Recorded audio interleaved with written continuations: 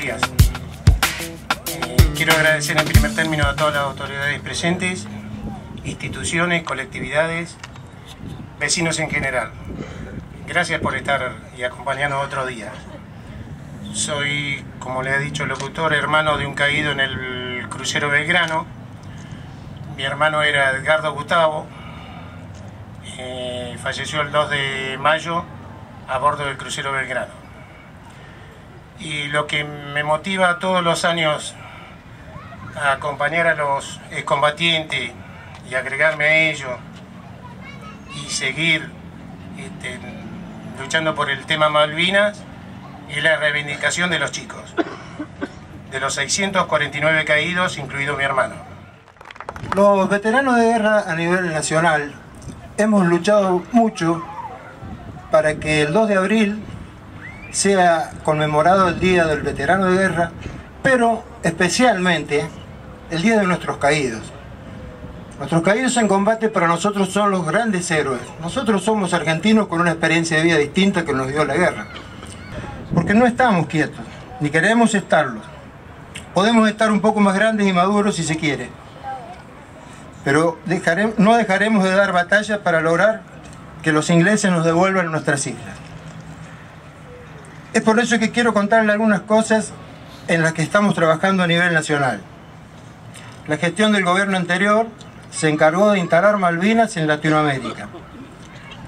Hoy esos pueblos no tienen duda de que las islas son argentinas, pero nosotros sentimos que los partícipes directos de la gesta no participamos.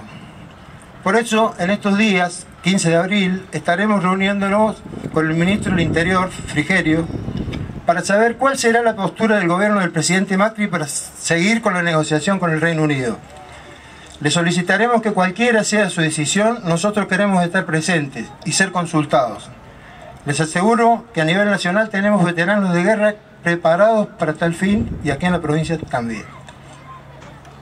Una buena noticia de estos días es que la ONU aprobó el límite exterior de plataforma continental argentina, que incluye a las islas. Es la primera vez en la historia que hay un aval explícito del organismo. Con las nuevas dimensiones implica aumentar en un 35% el lecho y el subsuelo marino bajo. Este es un hecho que reafirma los derechos de soberanía de Argentina en una zona política, económica y estratégicamente tan importante como el Atlántico Sur. Y otro tema que nos indignó, y lo hemos charlado con los combatientes, con mis compañeros aquí, anteayer lo charlé con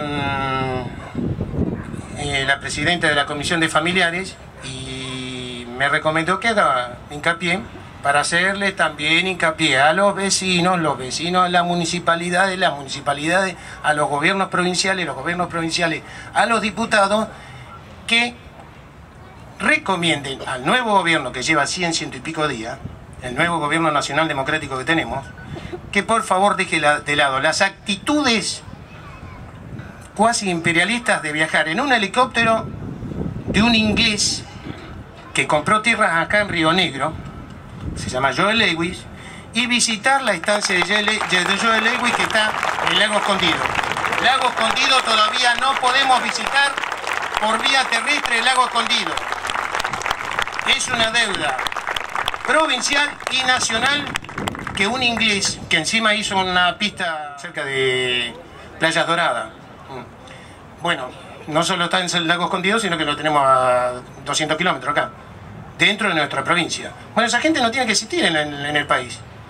Ir por una ley en que las tierras sean de argentinos.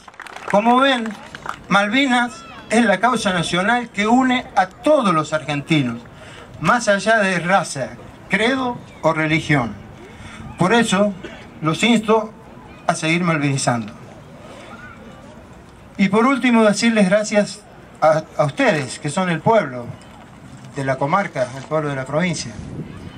En cada saludo, cuando ustedes se acercan y nos dan un abrazo, eso yo siempre digo que es una caricia para el alma, porque los veteranos de guerra todavía sentimos, como dijo Darío, si bien está el reconocimiento económico, social, Necesitamos el reconocimiento espiritual, ese, abrazo que no tuvimos cuando regresamos de las islas.